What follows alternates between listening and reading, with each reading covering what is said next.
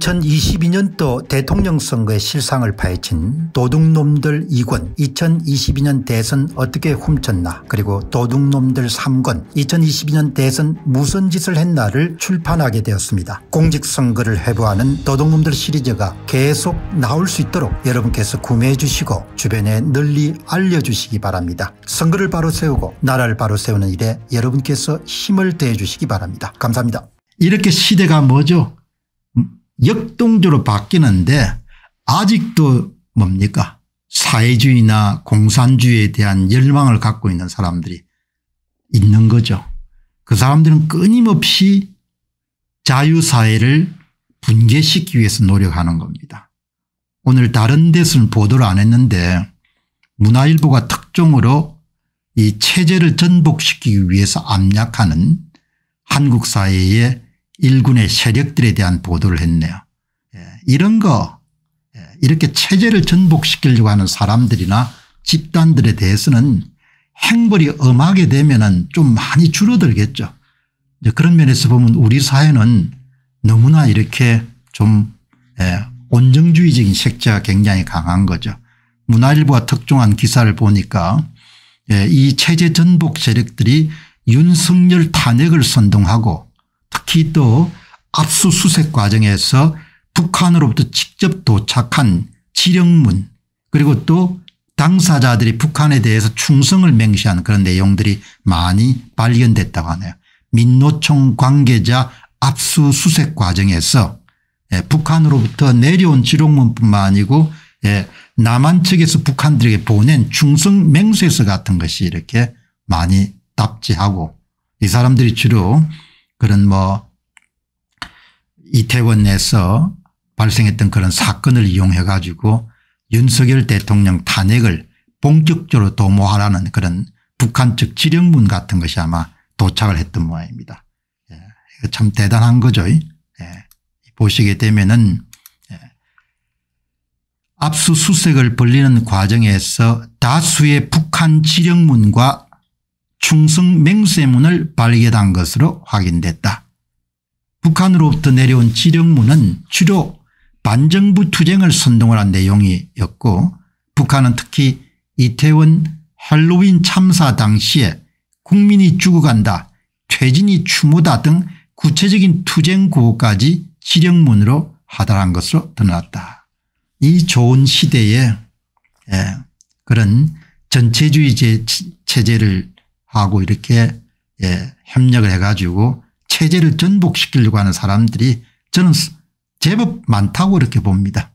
예, 우리 공안 당국들이 문정권 하에서 거의 무력화되어 있는 상태이기 때문에 구석구석 아마 이런 사람들이 있을 겁니다.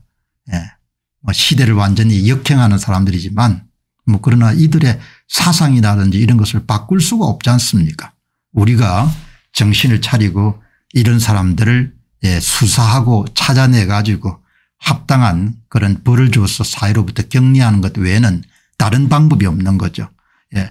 방첩 당국에 따르게 되면은 국정원과 경찰청이 1월 중순과 2월 중순 사이에 이루어진 복수의 민주노총 사무실과 산하 노조 사무실 관계자 주거지에 대한 압수수색에서 예. 북한이 민주노총 관계자들에게 보낸 지령문을 다수 확보했다. 간첩 행위를 한 거죠.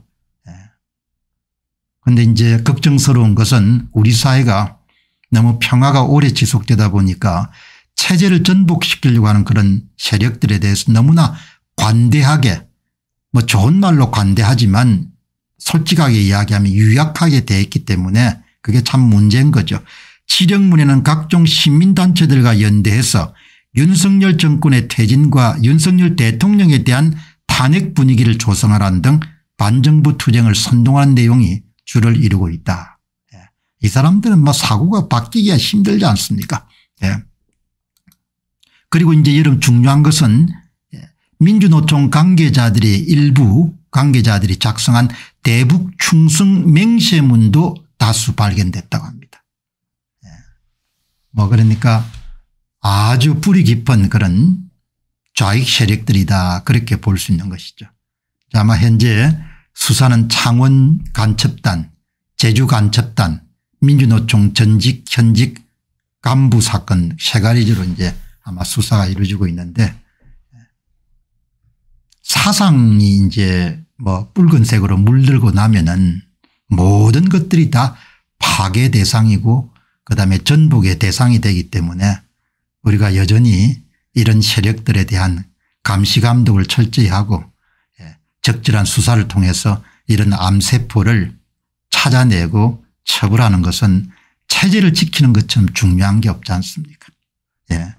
뭐 제가 이 같은 이야기를 하게 되면은 좀 구식 이야기다 이렇게 받아들일 수 있는 분들도 계시겠지만 역사적으로 가장 손쉽게 뭐죠 타인이 갖고 있는 자유와 재산과 생명을 빼앗을 수 있는 것은 체제를 전복시키거나 체제를 뭐죠 변질시키는 방법이 가장 좋죠.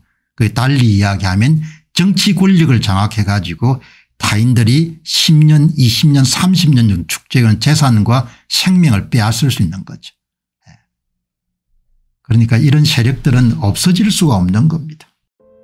대한민국 공직선거의 문제점을 파헤친 첫 번째 책을 펴냈습니다. 제목은 도둑놈들 1권 선거 어떻게 훔쳤나 2017년 대통령 선거로부터 2022년 대선과 지방선거까지 전산 조작을 이용해서 후보별 득표수를 어떻게 조작했는가를 낱낱이 분석한 책입니다. 선거를 바로 세우고 나라를 바로 세우는 일에 여러분께서 힘을 더해 주시기 바랍니다.